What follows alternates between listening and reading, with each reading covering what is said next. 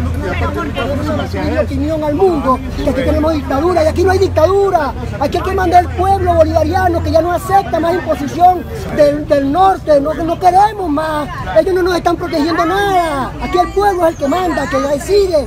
Somos soberanos, somos libres del imperio, no queremos que nos dominen. Queremos nuestra propia libertad para echar nuestro país. Que vengan a ayudarnos, liberen nuestras cuentas en el mundo, liberen a liberen el recurso que nos, que nos han robado, que nos han quitado en el mundo.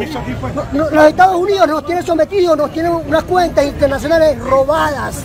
Queremos que nos liberen, si nos quieren ayudar, liberen la cuenta, liberen a PDVSA, permítanos que compremos nuestra medicina, nuestros alimentos, por eso es la rabia. Y tanta mediática, una dictadura, ¿usted cree que aquí hay una dictadura?